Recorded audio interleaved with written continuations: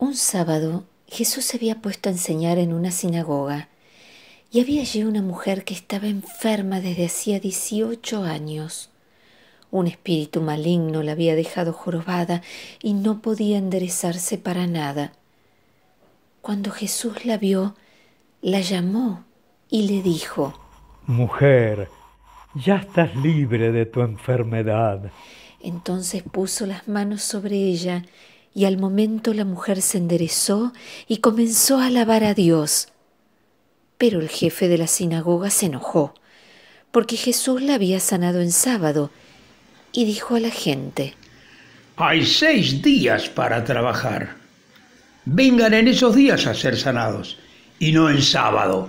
El Señor le contestó, Hipócritas, ¿no desata cualquiera de ustedes su buey o su burro en sábado para llevarlo a tomar agua?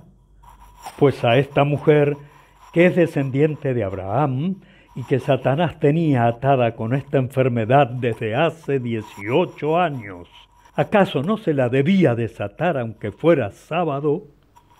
Cuando Jesús dijo esto, sus enemigos quedaron avergonzados, pero toda la gente se alegraba al ver las grandes cosas que él hacía.